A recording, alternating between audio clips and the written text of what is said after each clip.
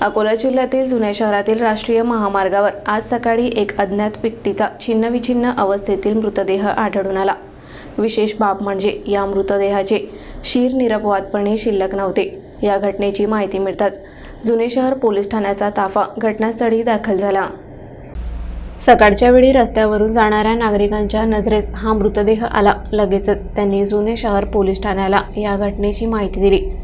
Police पथकाने घटनास्थळी जाऊन मृतदेहाचा पंचनामा केला आणि तो शवविच्छेदनासाठी अकोला सरोपच्या रुग्णालयात पाठवला.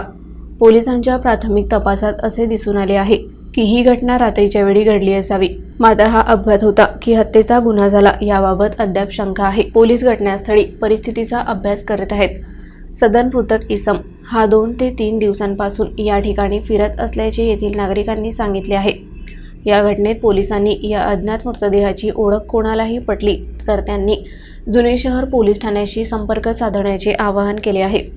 पोलिसांच्या अधिक तपासानंतरच या घटनेची सविस्तर माहिती मिळू शकेल. ही घटना अकोलेकरांसाठी धक्कादायक ठरली असून सर्वत्र या घटनेची चर्चा सुरू आहे. तपासाची दिशा लवकरच स्पष्ट होईल अशी अपेक्षा व्यक्त केली जात असून पोलिसांनी सर्व पैलू तपासून घटनेची सत्यस्थिती उघडकीस आणण्याचे आश्वासन दिले आहे.